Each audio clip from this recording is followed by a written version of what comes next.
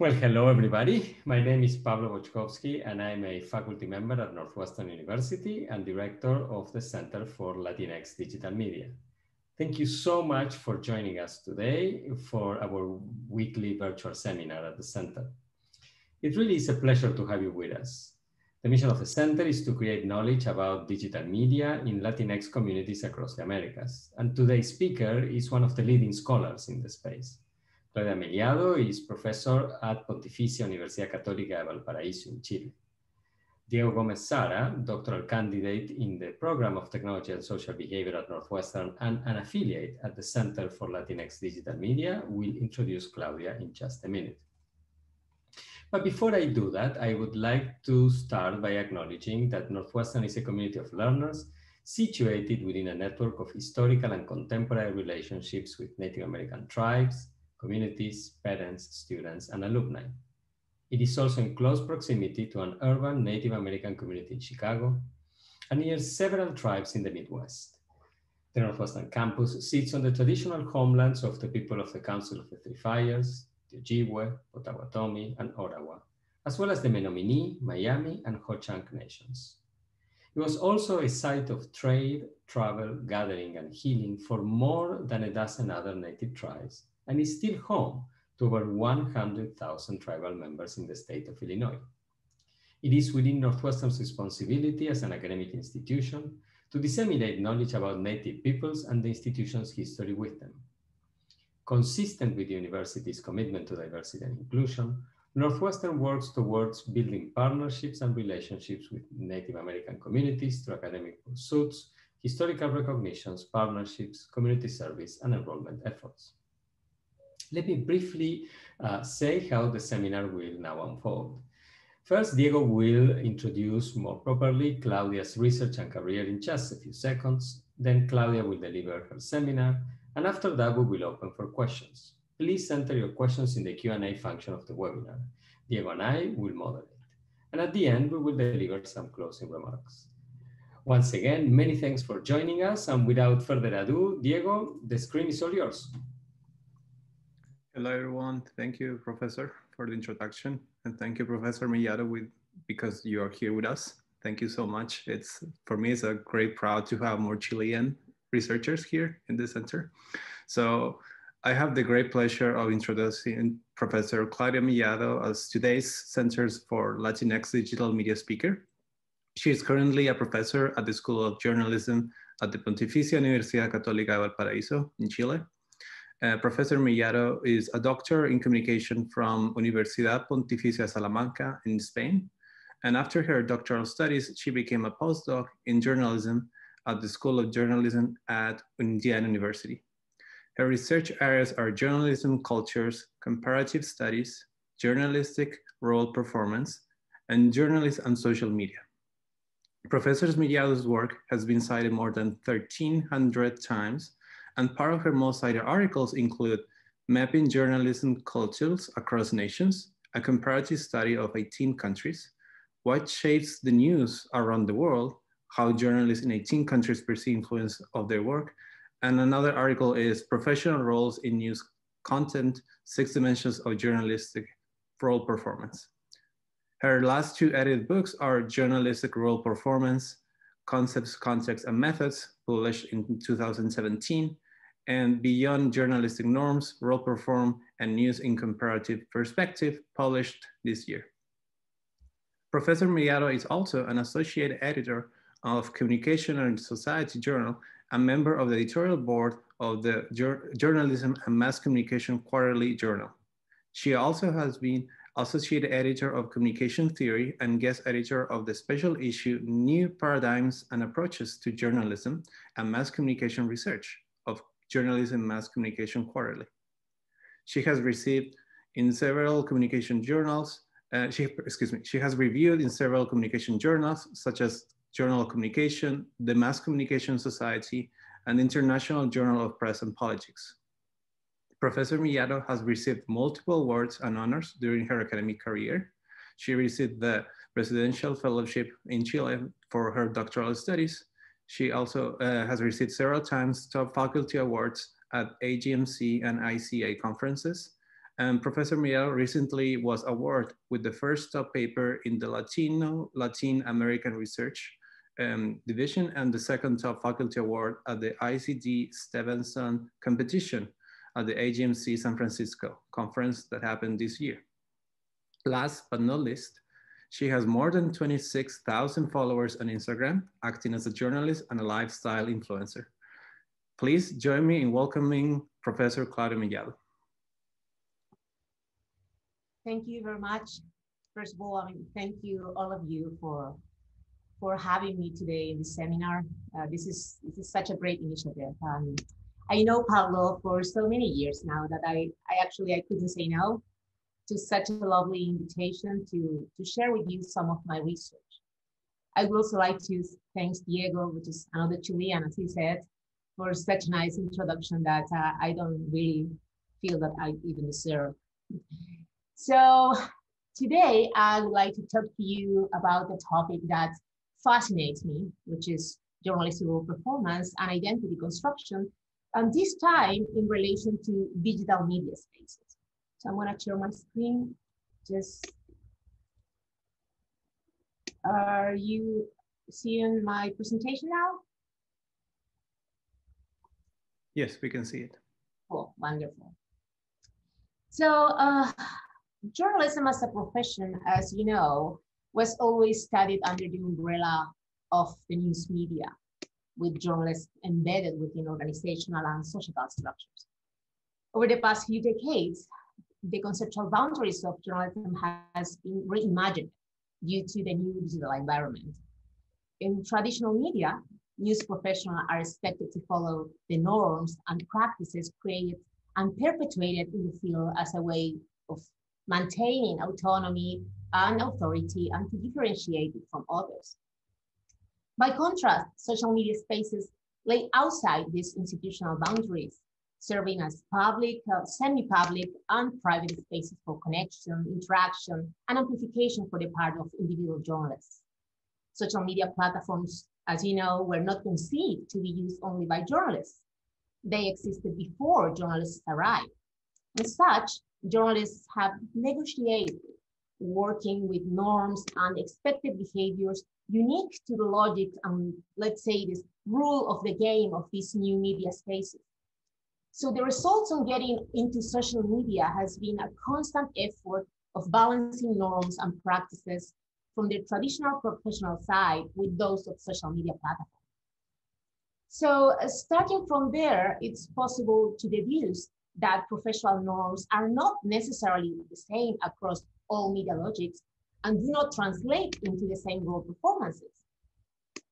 This, of course, doesn't necessarily mean that the roles that journalists perform in offline media cannot be present in social media spaces, but it implies that journalists are developing new ways to perform their identities as professional and persona. I mean, uh, in traditional media, journalists report on a story. In social media, instead, they can be part of the story, becoming a topic themselves.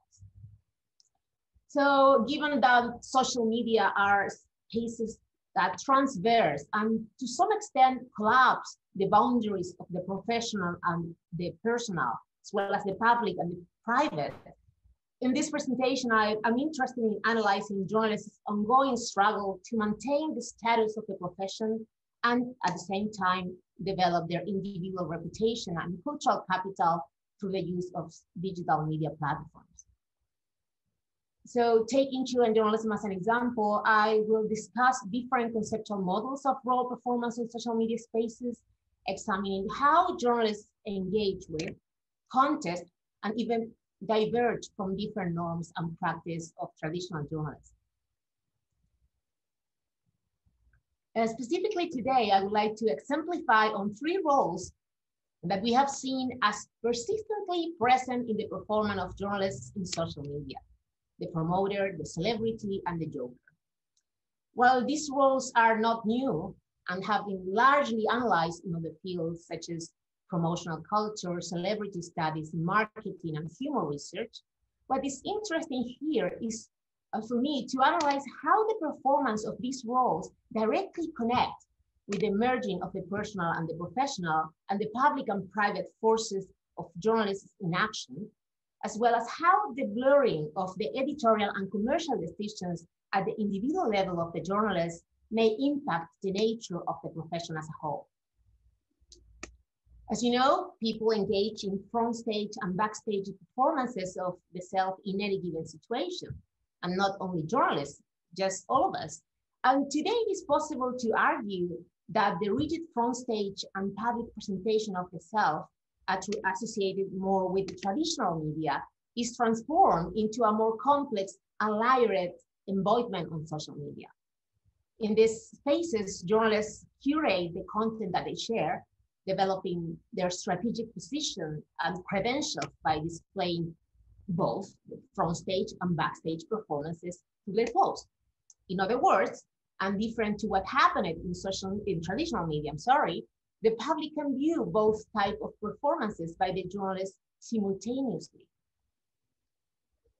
Moreover, in traditional journalism, journalistic performance is defined as the collective outcome of specific newsroom decisions. In social media, the institutional platform is not the same, right? since journalists are able to open accounts and post on them as if those accounts were their own media outlets. These differences between these two levels of analysis, the news organization on the one side and the individual journalists in, on the other side, are methodological, theoretical, and also epistemological. At the methodological level, the subject of analysis is not the news outlet anymore, but the individual journalist's account on social media. At the theoretical level, media studies must concede space to role theory and identity research in order to develop fresh concepts that help to explain the new public-private sphere in digital media. And finally, at the epistemological level, we need to move from objectivism to more space of constructivism, where people build their own meaning in multiple ways, assuming the evolving nature of human existence, let's say. So compared to the institutional spaces of news, uh, new publishers, the boundaries between the public and the private and the professional and the personal are far more blurred in social media. And clearly people might maintain fluid dynamic selves mediated by the contextual space in which they operate or their, their specific positions and the role they perform. While this has been actually always the case, uh, the prevalence of the idea of multiple selves has increased as a great deal since uh, digital media and digital platform has become legitimate spaces for communication. So for journalists, uh, the self-expression can take the form of sharing their professional work and of branding themselves as a way of self-commodification that seeks to increase their market value. I mean, we can clearly observe that the personal and the professional are not exclusive position on social media. They actually exist as co-identities that shape both sides of the, their persona in the post they share with the audience. In legacy media, the journalist's work mostly depends on endogenous and institutionalized forces such as their news media organization.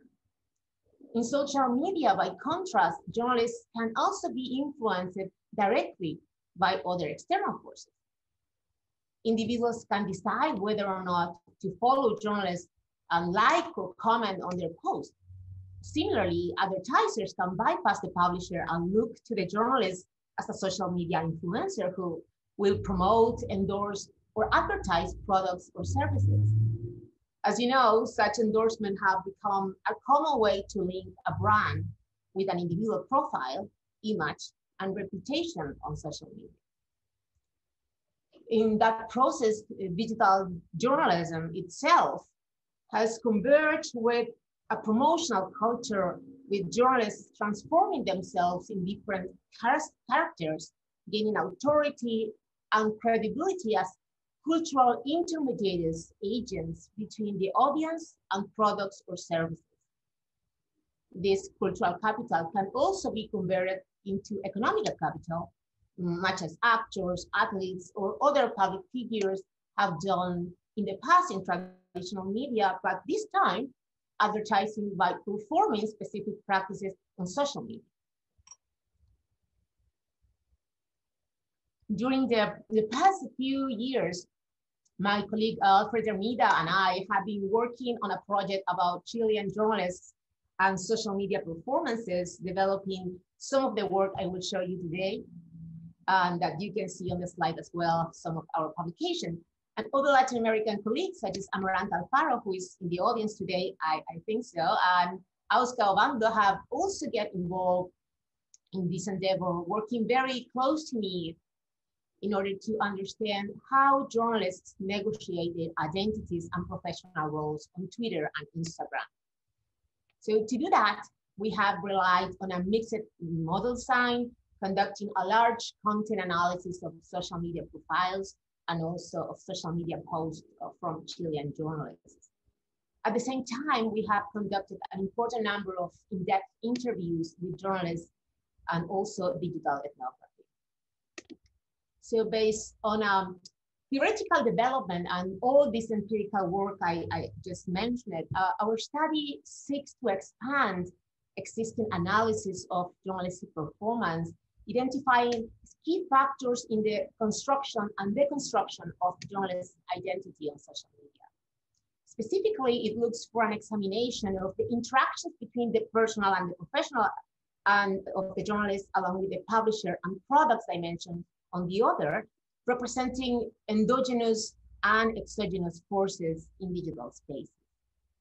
As you can see on the slides, we, we analyzed first a spectrum of performance by journalists from narrowly professional action to much more personal actions on social media.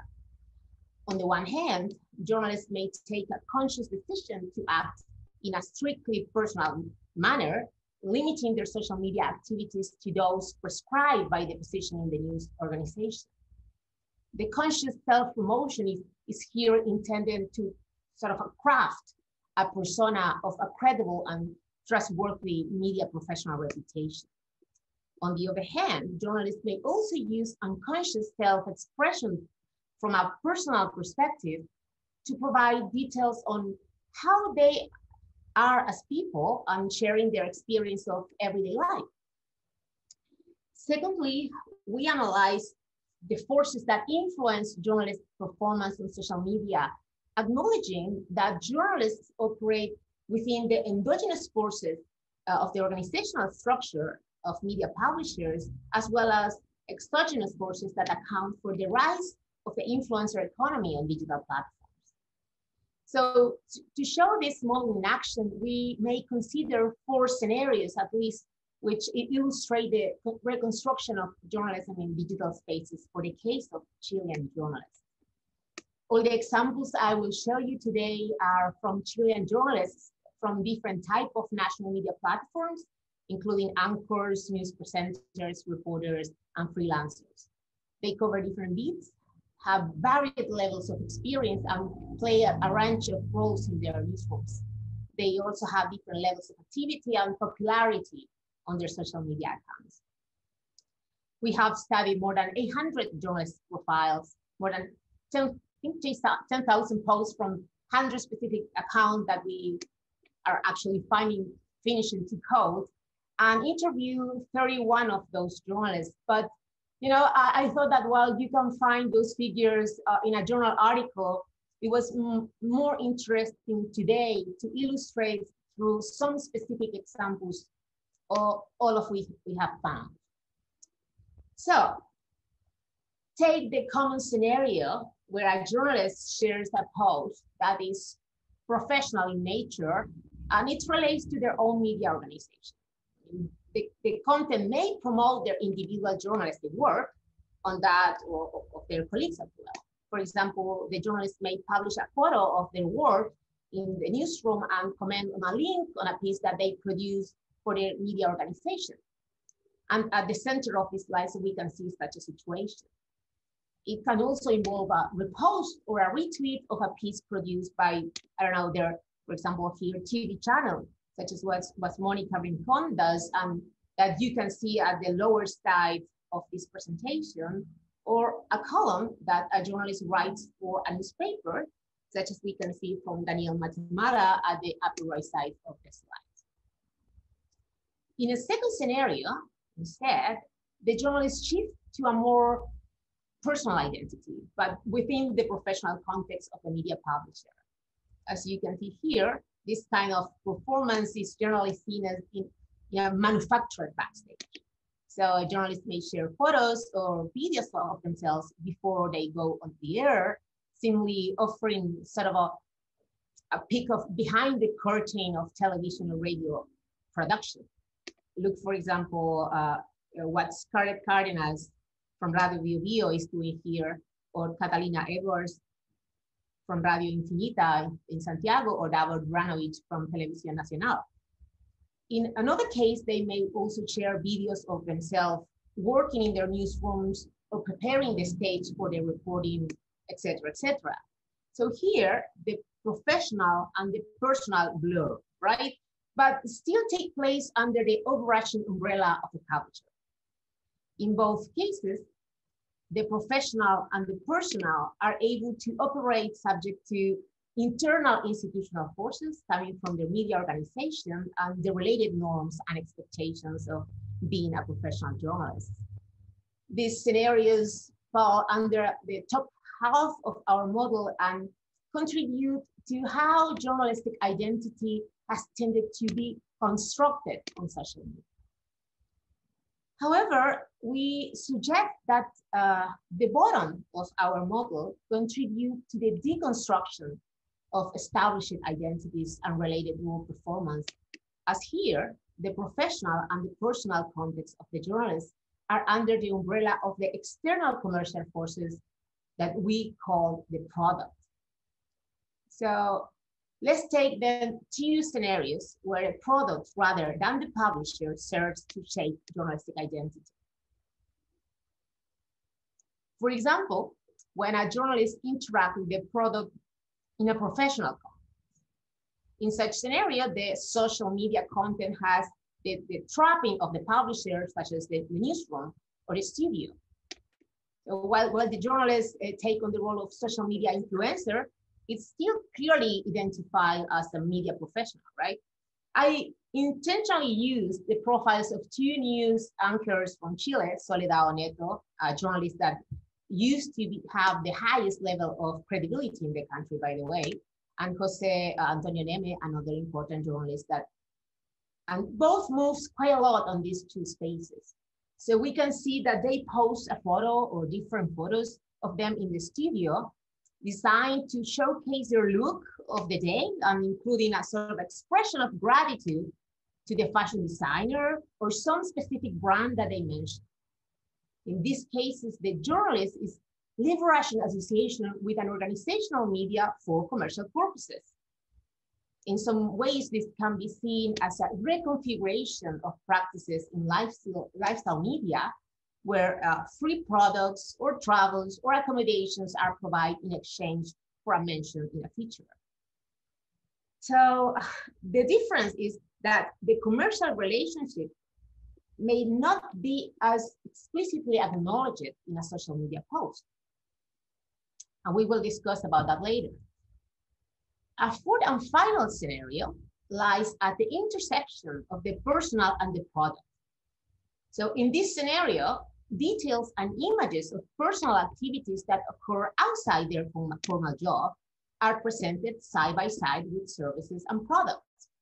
For example, uh, a journalist may share a photo in which she's drinking, like here, um, herbal potion with the social media post explicitly mentioning the product and praising its rejuvenating properties.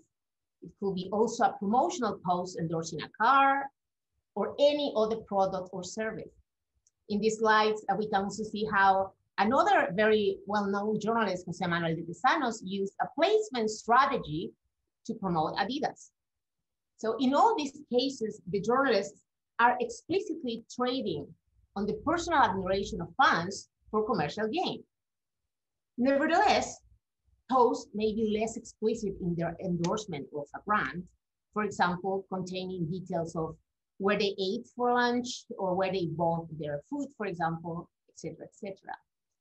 But whether explicit or not, the truth is that such behaviors associate the journalist's social and cultural capital with economic capital outside of the institutional structure of the media and clearly push the boundaries of professional norms and standards on journalism. So um, in digital journalism, scholars have already found that branding on social media is inevitable, right? There, there are dozens uh, of great papers on that topic. But even if, it open to various form of practice, uh, depending if uh, they perform uh, this form of a professional or more personal perspective, we have discussed it during the last few minutes, the results could be different. So in other words, different presentation of the self can be related to different types of promotion of the self. In our operationalization of the promoter role, we propose distinguishing between several indicators. Some of these indicators are linked to the relationship between the journalist and their news media organization, while the others refer to the relationship between the journalist and the product or service through which they do a set of 30 party uh, promotion. So in this post, we can see how Monica Rincon from CNN Chile performs professional branding, advertising her new TV show Conexión Global on CNN, while the other three posts refer to the promotion that these other journalists do about specific products. Soledad Onetto, again, does, doesn't show the name of the shoe brand here, but she tagged, tagged it in the text that she wrote. Catalina Edwards and Jose Manuel de Tesanos instead, they explicitly advertise the use of Eucerin and the new FIFA 21 video game. Our analysis have also shown that the celebrity role can be materialized in the performance of journalists on social media through specific indicators as well. There are, for example, some characteristic of reflected fame materialized when journalists report about themselves through retweets or shares or screenshot shot of material published by others, or when they use element of fame by association. Uh, another indicator of the celebrity role is this trapping of fame, when journalists perform activities that suggest that they are enjoying the lifestyle uh, of the rich and famous. Of course, journalists also need to demonstrate that they are like, just like everyone else and that they do the same things that their followers do. So they can also post about everyday life settings, including images of themselves going to the grocery store or the gym or taking their children to school or waiting in traffic. And finally, and uh, related to this notion of a celebrity is the idea of using a personal branded hashtag based on their name or nickname or another signature characteristic, creating a sort of synthetic personalization. So on these examples, uh, we can see several of the indicators of celebrity performance I just mentioned. For instance, uh, Monica Rincon reposted an interview that a newspaper did to her about coronavirus and how she dealt with it um, Jose Manuel de Tesanos posted a photo that reflected fame by association, picturing himself with Leonardo Messi and showing us that he knew him since he was not even that famous. We can also see how Soledad remembers how much she enjoyed a very fancy and luxury life when she was one of the presenters of the most important music festival from Latin America, etc. But now, uh, and this is something very interesting that I would like to go more in depth, but I, I wouldn't have time, that transversal to these two roles is, is humor and the potential development of a sort of a joke role that journalists can implement at the same time they promote themselves or becoming celebrity stars. And this is, but this is not the only mission of this role. Actually, several journalists perform the joker role to push the boundaries of humor by engaging in practices such as poking fun at authority figures, offering paradise, or stating the truth, or challenging social norms, all while being seen as daft. At the journalistic level, the joke role tend to be present according to what we have found on social media when journalists use humor while commenting on their work, their colleagues or sources, or present themselves goofing around on the set or in the office. At the more personal level, this role is present when the journalists post these ridiculous videos or images of themselves outside of uh, uh, labor context, or when they include gaffes or irony in their statements about any aspect of their own life or others.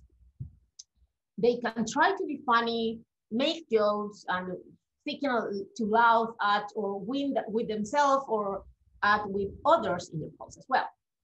So one of the journalists that mastered the performance of his role in Chile is Jose Manuel de Tesanos, this guy and this guy. If you check uh, his profile, you will see that he includes elements of the Joker role in most of his posts, especially on Instagram, but also on Twitter. For example, we can see him here pretending living home without pants, which is of course uh, uh, hilarious, or being ironic about the lack of cleaning products during the COVID pandemic and how people have taken all these products in supermarket, supermarket leaving nothing for others. We can also see here all the journalists performing this role. Felipe Delgado, who used to be my student, by the way, uses Twitter to laugh at the TV journalist who made a terrible mistake on air when covering a story, and many other examples. So um, in conclusion, looking at how these different journalists perform on social media on any random day may reveal different potential and possibly non-mutually exclusive realities. Of course, this is just the very, very beginning of, of our study. There's much scope for research on, on how far media organizations are or are not aware of the range of digital selves presented by their editorial staff. For example, a key question for us is how far um, these organizations will accept, tolerate, or condemn on uh, journalists taking on influencer types identities given the decline of traditional sources of revenue and the precarious working conditions and salaries in the industry in an environment which enables unprivileged uh, individual autonomy and self-expression and self-promotion, it will actually be illuminating to learn if the media encourages journalists to market themselves and as a, consequence, their employer as well, in order to get more clicks and traffic. The rise of influencer agencies created by major conglomerates uh, suggests that at least some organizations are willing to do that. So the blurring of, of these barriers between editorial and commercial activities generates clearly an ethical and jurisdictional journalistic dilemma. I mean, whether or not it's possible for the journalists to combine commercial and the professional context without risking journalistic credibility and authenticity and the entire uh, deconstruction of the profession is a very urgent debate uh, for digital journalism studies. Economic pressures may even accelerate trends toward a more freelancer or gig model of, of journalism and may also increase the lure of the journalist influencer model combining professional reputation and providing complementary streams of income thank you very much. I just want to mention because my daughter asked me to do that, that she helped me quite a lot on this presentation. So her name is here. Thank you very much. Thank you so much, Professor. Uh, amazing presentation. And uh, it was very interesting for me to see all those pictures. Um, I grew up with many of those journalists when, when I was in Santiago. So it's very interesting to see how the roles are evolving during um, the last 10 years. So before we start the questions, I really want to encourage the audience that we have all the attendees to ask your questions, use the Q&A option that you have below. you will see a button Q&A. You can write down your question and then we can just uh, start asking those uh, questions to the professor. Okay, I want to um, ask you a lot. I also, well, I grew up in Chile. I know these journalists. I'm curious about, um, specifically in terms about how social media is extending their control or their their appearance can in compare, for example, some some decades ago when journalists they were still performing some of those roles as celebrities, but probably they were in different spaces. For example, it was marketing. So, for example, they could be on television for advertisement or other kind of TV shows. For example, uh, in the morning, like the matinals, um, and for example, the um, the marketing purposes. So, my question is what do you think in terms of, uh, particularly in this taxonomy, how social media is extending uh, journalists' uh, roles? And is that related to the visual communication that the social media provides? Is just like the communication that they have with the audiences? Uh, what is the specific aspect that you think it's key to, to their roles in this space? Yeah, that's a very interesting question, a huge one, but uh, I will try to address it. Well, on the one side, I think there is a, uh, the key is in the relationship between the journalist and the, the publisher. I mean, they, they at some point they must sincere themselves. You know, uh, um, some publishers know that uh, they just depends on some specifically key journalists who you know have this credibility on the audience um, and they even negotiate with them. So journalists uh, basically uh, get more internal autonomy if they got this capital power that they need. But you know, they they, they try they just are losing more uh, external autonomy, right? Now, uh, the relationship with the, the, the audience is, is, is crucial because the audience is providing them a lot of power. So we can see not even on these roles, even with more traditional roles that uh, like let's say interventionism you know the voice of the journalist you can see a clear pattern that all the journalists um, that have this strong uh, cultural and social power uh, in their uh, social media networks and uh, platforms they are able to to say almost everything without being affected you know uh, in comparison to the others. So um, according to the interview we have um, had with so many of these these people, uh, and they, they know how we are what we are doing, and they laugh a bit because they are in in journals articles, and for them it's, it's quite weird, right? But uh, it's, it's part of the deal. And they they have said that oh, they, they start in 2010, but actually becomes more pronounced uh, when Instagram was, you know, a much more solid platform for them. I mean, they are not only doing this. I mean, we have shown just just a part of it. I mean, some journalists actually take a track, a more a professional track on Instagram, and they use it for that as well. So, um, and I think today it could be Instagram. Tomorrow maybe it's another, and then another. I mean, it's not about the specific platform. I would just think that uh, the media logics that these even two platforms that we have seen today, the, the Twitter and Instagram, are quite different. And the journalists who actually, the, the journalist who actually knows how this works, some of these guys know exactly what they are doing. I mean, they are targeting the audiences, for example. They, they know that they are a political animal on Twitter and they, they are super influencers on Instagram, and the audience accept it. So I, I assume that they ask, why we should just be objectives and you know uh, neutral in, in in social media if this is not a property of, of uh, journalism uh, you know traditional journalism so i think that that's that's the way that i will discuss this but it has so many angles. Right. No it's it's it's hard. Uh, thanks for the great answer. We have one question from the audience um, and it says do you think this approach of mixed roles is something closer to Chilean media because of its size, since it's a small country, few journalists, and seen as celebrities among the audience?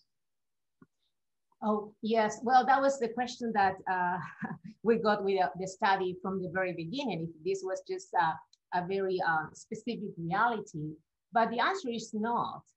I mean, uh, we have checked, and this was more about Latinos and Latin America, so I didn't want to mix it with the United States. But I could send you I mean, hundreds of links of journalists from, you know, Spain, uh, the UK, US, Canada, Japan, that are doing exactly the same. You know, and that it's sometimes because it's bigger, you just don't see them, you know, because there, there are so many. But this is a much more um, common practice that we think. And, and when you introduced me and said, oh, that she is an influencer, actually, this is not truth. I'm going to clarify this. I was doing more my, let's say, ethnographic, uh, always some uh, advices from Pablo a few years ago. He will remember. And, and I thought, well, maybe I can really understand this from the inside. And, you know, I'm a journalist as well, and I know some of these people, so why, why not? And then you realize that there is a huge world inside uh, that, and again, if they know the rules, they will they will feel more comfortable in terms of uh, their internal autonomy or how to move. But this is not our Chilean reality only at all. The, the, the person who asked that question said, interesting answer, thank you. Um, and I have a um, um, kind of like extension, I mean, a question that could be related to those journalists who decided to not having any kind of relationship and, on social media. And they have uh, given multiple uh, reasons, for example, in terms of all the hate speech, all the criticism, cancel culture.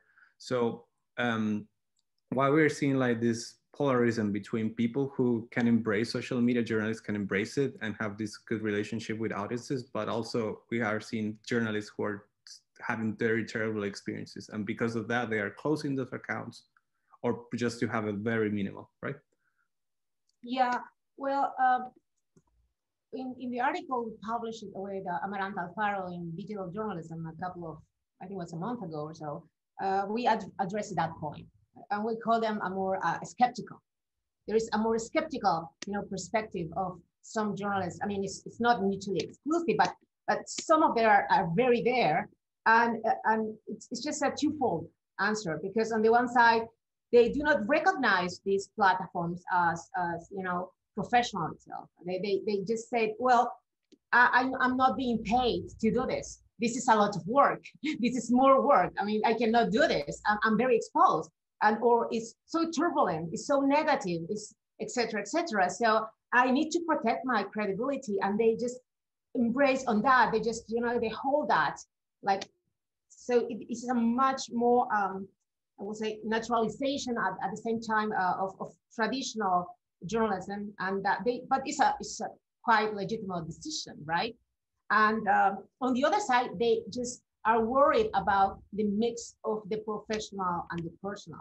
I mean, they are doing that anyways. I mean, because people are following them because not because they are necessarily nice. I mean, because they are journalists, right? But they said, no, I, I will never make things. I mean, this is only for contacting sources or, you know, seeing what's going on, but I'm not going to, you know, just say, oh, this like screen is amazing. It's so nice. Or a picture of my of my partner or with my children's, etc., etc. Sometimes they they do it unconsciously, right? But they that's what they said. Yeah. Great. Thanks for the question and the answer. uh, Diego, can I can I jump in with a couple of questions? Of course. Thank you very much. Thank you, Claudia, for superb presentation. I have lots of um, questions. Let me ask you a few, and then you you choose which one or ones you wanna uh, respond to, because there is a common matrix. What is fascinating to me, among other things, about this research program is how it challenges a number of boundaries at the same time and a number of taken for granted ideas uh, for people who have been studying journalism and have been studying digital media at the same time. So one has to do with the comparative aspect. I mean, you have a very, very strong and deep expertise in comparative research. You circumscribe the presentation of your findings to Chile, uh, yet you commented that this seems to apply, the phenomena seem to apply um, to other parts of the world. Um, so I wonder, first of all, whether you can comment on whether you see some particularities uh, for Chile, for Latin America, for Latinos and Latinas, you know, in, in the US in terms of presentation, uh, relative to other parts of the world, because I, I, to a certain extent, cultures that are more gregarious and more collectivist um, might probably have a different predisposition to this blurring of the personal and the professional, the cultures that are more individualistic and instrumental. Right, so, so that's one. This, the second blurring that I see here of the boundaries has to do with sort of church and state, as it's called in journalism, so with editorial and the commercial side of uh, the house, because um, one might imagine that some of uh, these uh, journalists slash influencers are getting additional compensation for what they are posting um, that they are not sharing with their employer, right? Um, so, and I, I, I wonder uh, to what extent that signals a deeper turn in the relationship between news organizations and journalists. I was reminded in a very, very different context nationally and historically and technologically of the first book of Sallie Hughes, where she studied the role of democratization uh, in you know the role of journalism and the news media democratization in Mexico, and she showed that you know for many many decades um, uh, newsrooms used to be okay, used to be tolerant with journalists receiving additional compensation from uh, state sources so that they wouldn't have to pay them that much.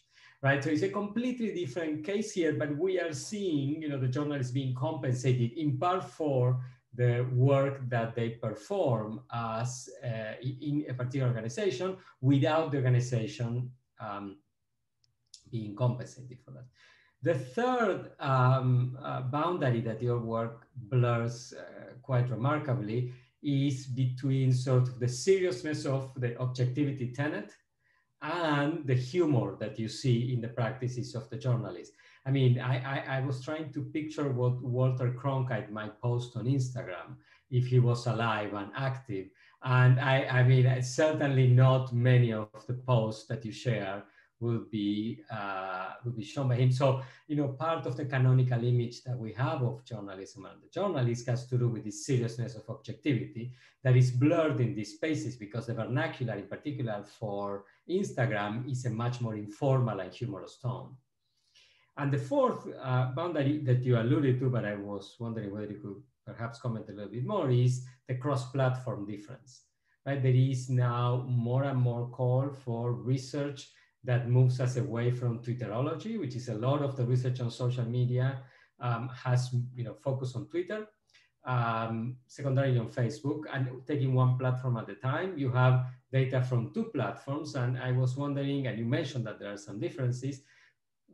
To what you attribute those differences? Is it technological issues, the culture of the platform, um, or something else, or a combination of those? So, so those are, you know, four different sort of manifestations of the blurring of the boundaries that, that is clearly a central part of your research. And I was wondering whether you, you could comment on one or more of them.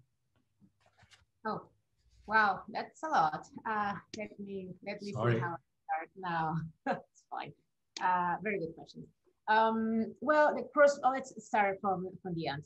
Uh, cross-platform research. Well, yes, uh, uh in two sides, offline and online because you know there are differences between uh, journalists that are coming from you know some offline platforms so but we have found at the very broad beginning of, of the, the broad uh, uh, raw data let's say is that journalists from uh, curiously journalists from online newspapers are less attached to social media you know uh, uh, accounts at least they don't use it for uh, working purposes. Most of them have a private account. And it's very interesting because we took, and that, that part I'm not sure, I, I cannot say if that's you know, a global situation or not. But at least in Chile, we, we went to these almost thousand profiles of national journalists working for national media, you know, so it's more of a sort of a consensus of that. Uh, and the difference between the online and the rest was brutal, you know, that, so all this projection of working with this uh, media branding or personal branding, etc., was even high on uh, journalists working for newspapers, print newspapers, and higher on television, right? For, for very obvious reasons. And also radio, because in Chile, several journalists that work in television also work in radio. So they have programs and they move to the two. But uh, in terms of what you say uh, about the cross-platform research, internally, I mean, at the online level, yes, uh, there are clear differences, and that the, those differences are not random. I mean, they they are clearly clearly related to uh, the media logics that they have. And the paper that Alfred Hermida and I uh, wrote for that, I think it's it's not an advertisement, but it's, it's really good on that, just clarifying those aspects. For example, you know, the rhetorical practice, the expected behaviors that you have on Instagram will never be the same on Twitter. So the same journalists that I, I show you that post some stuff on, on Instagram, they will never do that on Twitter, even if it's the same audience. You know, it doesn't need to be a different audience. It's just they know that here the, the, the rules of the games are these ones and here the others. Here we are more aggressive. We will never tolerate this. Here is everything is nice, curated, and you know, it must be perfect. And if you can show me the perfection, it's it's wonderful. There is another thing about aesthetics as well, you know, that that brings you to to to play with this. And although the journalists haven't been, you know, in a in a formal course on how to deal with this, they are learning a lot. I mean, some of these guys are like a book. You know, you take a book of humor research, for example, and compare it to Jose Manuel de Tesanon, it seems that he reads everything because he's doing exactly what he, he should do there. It's everything, it's perfect.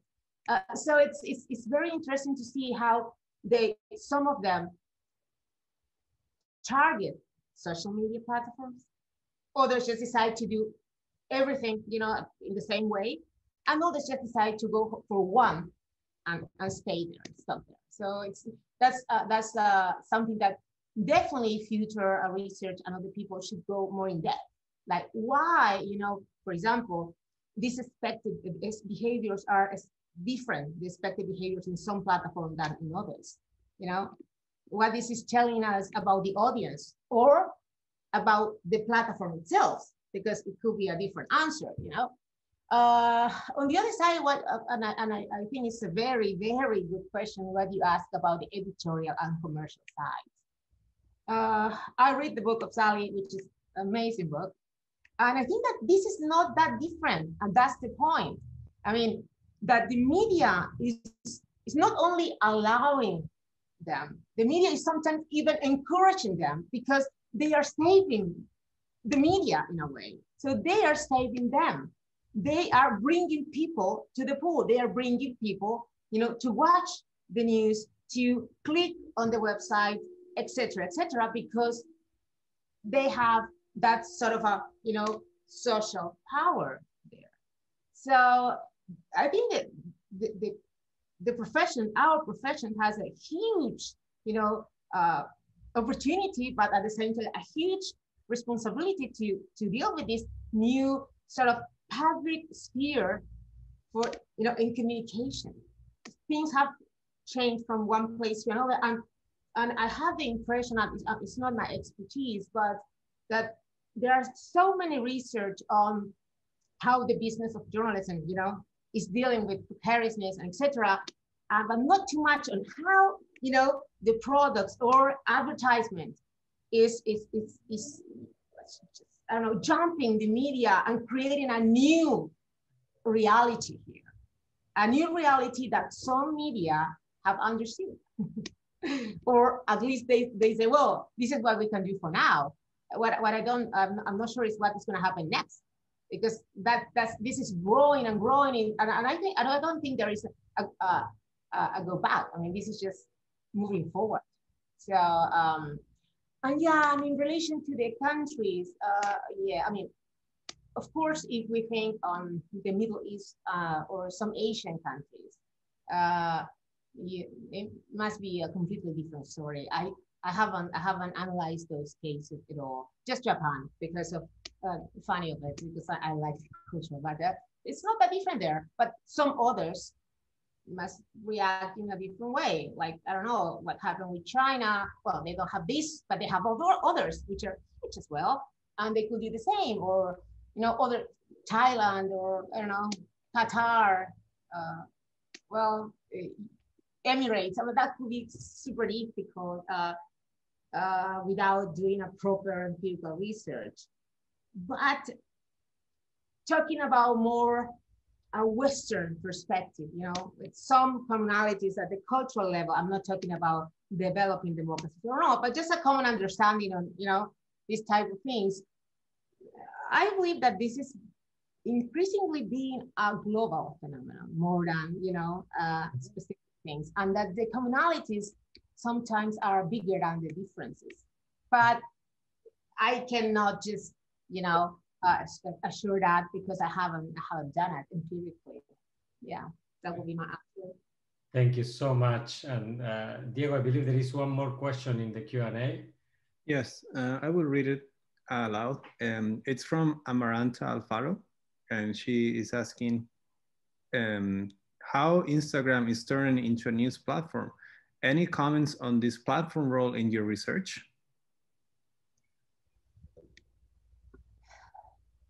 Yeah, uh, well, it is.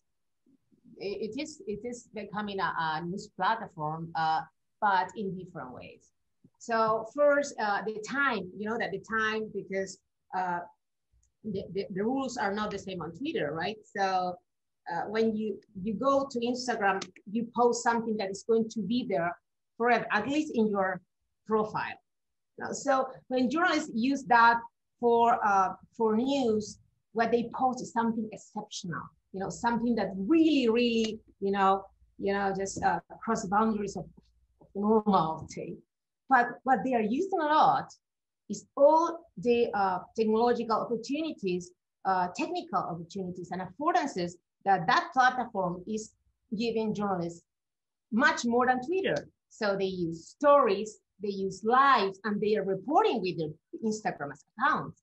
Sometimes even the media use the account of the journalist. So they say, if you want to see more, go up to our Instagram, which no one follows, or just a few, or to the one from the journalist, so you can see both sides.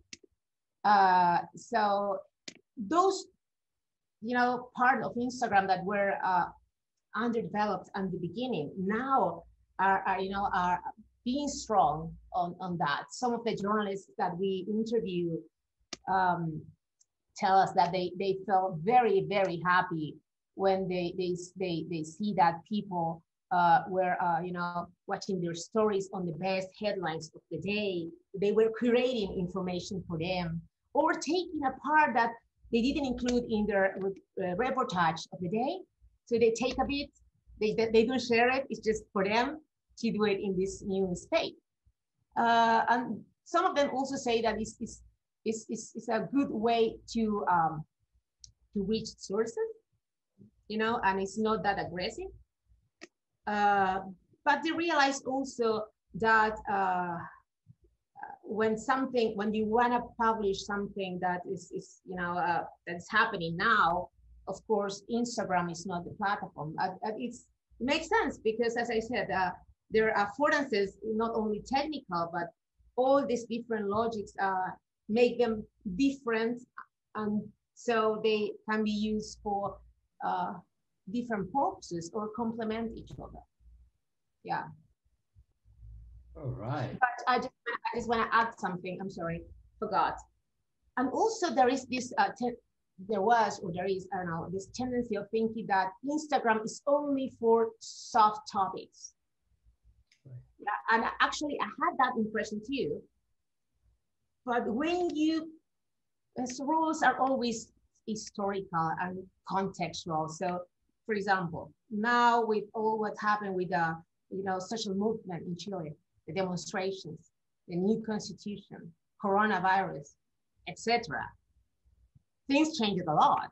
I mean, you know, it was not, uh, say, politically correct in that social platform to post beautiful things, to post that you were having a wonderful, you know, time because people were suffering like crazy. So they moved a bit. They re- exactly as journalists and television move as, as well. I mean, you know, they just decide, okay, so we need to do something now. We need to just declare what we think and post about it.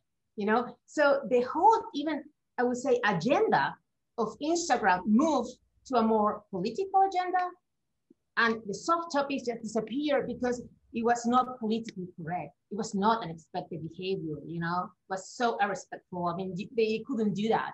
So uh, it's, it's, it's a platform that can move from one topic to another depending on the circumstances. Yes. Okay, thank you very much. That's a great way to wrap up a most insightful seminar. Thank you, Diego, for great moderation uh, and introductions today. Thank you, Claudia, for a spectacular, truly, truly insightful presentation. Thank you, our audience, for staying with us uh, through the end. And I want to invite everybody to join us again uh, next week when we have Hernando Rojas from the University of Wisconsin, uh, Madison, uh, deliver a presentation on social media. There is a question about the recording and it will be available uh, in about three days, between two and three days. Thank you very much, everybody. Have a great rest of your weeks.